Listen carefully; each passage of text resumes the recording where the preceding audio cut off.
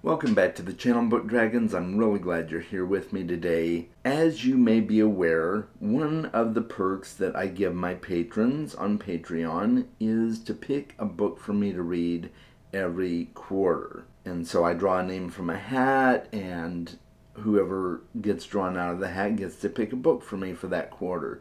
So the book that was chosen for me for the third quarter of 2024 was Gunmetal Gods by Zamil Akhtar. I'm going to be doing a book review for that today, so stay tuned here.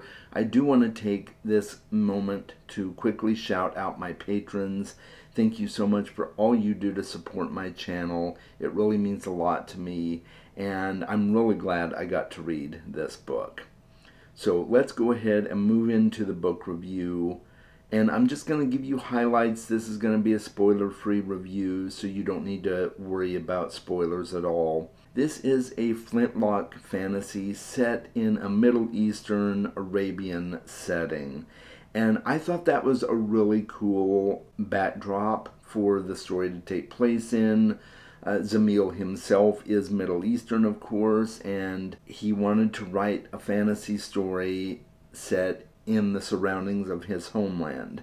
And I absolutely love that. I think that's a great way to start out your career as a writer, to kind of write what you know, write what you understand, and what you grew up with. I, I think that's great and I really enjoyed seeing this in that setting. I have not read any books set in Middle Eastern settings yet. And so that that was kind of cool for me.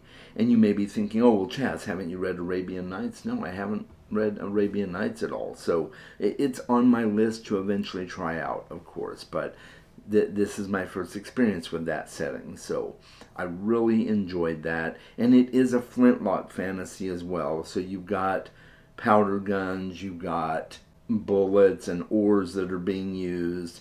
And as you can tell from the title, there is gunmetal involved.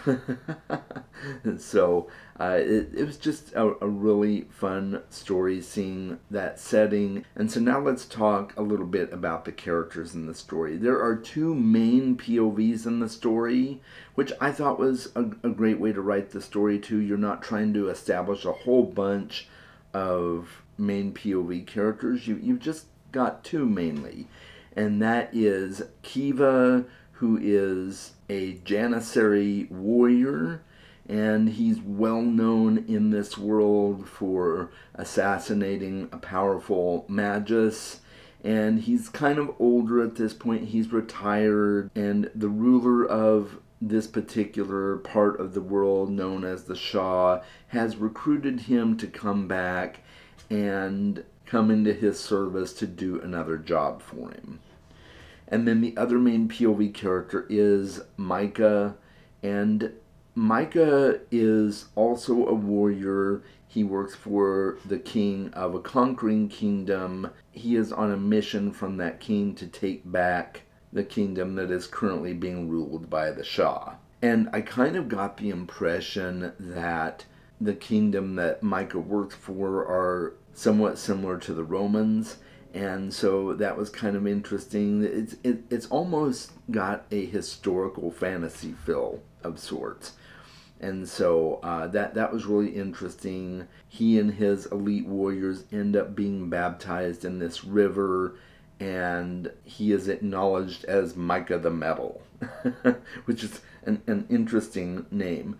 But it gains more literal prominence later on in the story, and I won't spoil why, but it's it's a really interesting plot line, we'll just say that. And the main thrust of the story ends up being a battle of wits and minds and the armies of these two main characters, Kevah and Micah the Metal. The magic in this world is solely relegated to those of the Magi.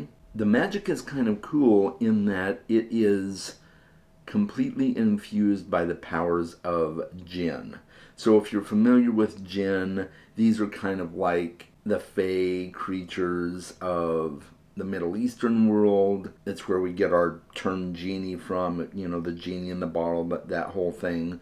So all of the magic in this world is infused by the jinn, and the Magi go to a place called Zathuria, I, I think is how it's pronounced, to, to be trained in the magical arts and to learn how to control the jinn so that they can use the powers that the jinn provide them. If you have magic in this world, it is solely because you possess a blessing of the jinn to be able to use their magic in the physical realm because the the jinn exists outside the physical realm but their powers are able to be used by people in the physical realm so it, it's really unique it's really different. I thought that was really cool. There's some great action sequences in the story as well and there's a lot of twists and turns that i did not expect either.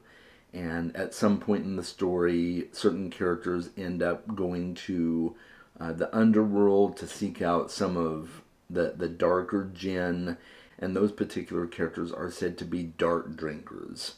So they are the ones that possess the, the darkest magics of this world.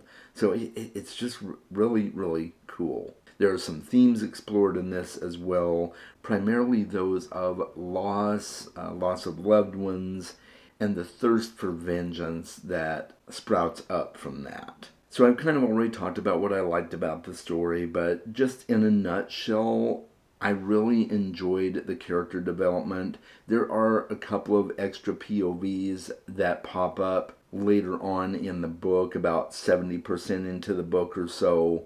Those two POVs really add to the story. So that was handled really well. The character development was excellently done, I thought. And I really enjoyed the mystery and the intrigue that is happening throughout the story.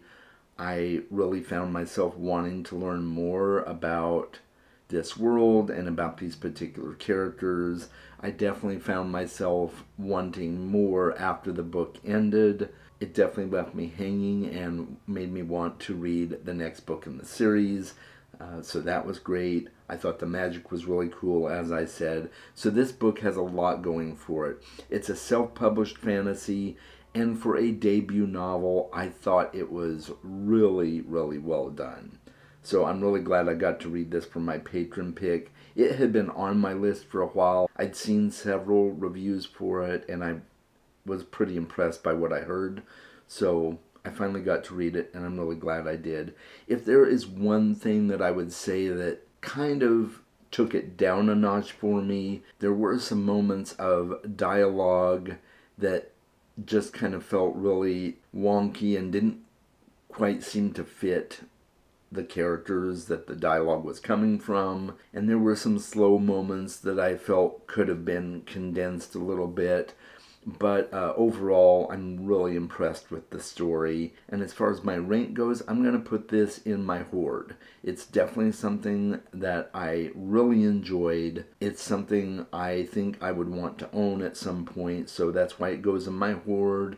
It didn't quite meet that soaring level, and it's probably on the very low end of my hoard tier. Like I, I, I think I would need to read more books in the series before I really decide, okay, is this going to be a, a, top tier series for me. So, uh, very much enjoyed my time with it though. So, uh, let me know what you guys think. Does this book sound like it's something that you would enjoy reading?